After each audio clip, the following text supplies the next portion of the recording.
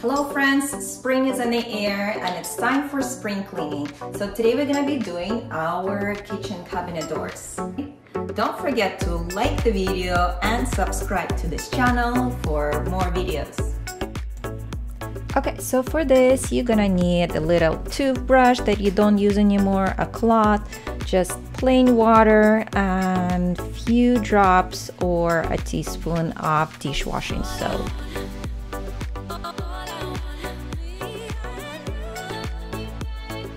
And shake it well.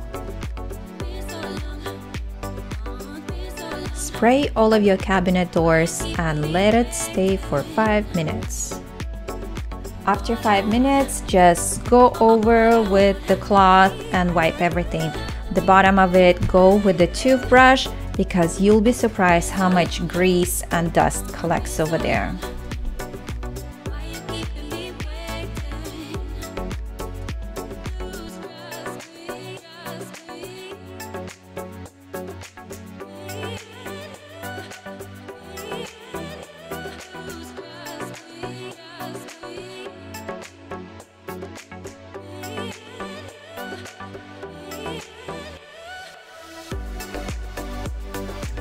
After that, you can wipe the handles with the sanitizing wipes like Clorox or Lysol.